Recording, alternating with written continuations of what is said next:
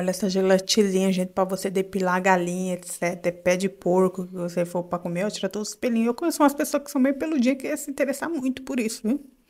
Olha essa pipa, gente, que legal. Essa pipa de, de Lula Molusco, não é Lula Molusco?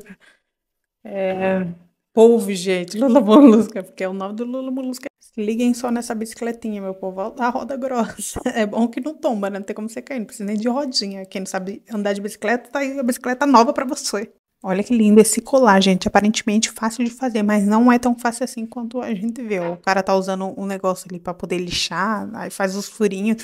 Ele fez um desenho já do que vai rolar, gente. E aquele desenho não tem nada a ver com o colar que eu mostrei para vocês no começo, né? Fica incrível.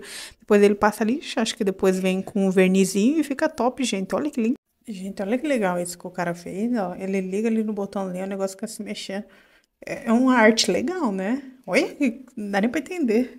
No outro vídeo eu mostrei pra vocês o cara fazendo a minha mesa dos meus sonhos, mas não, ele não mostrou o resultado final e eu também não encontrei na página dele.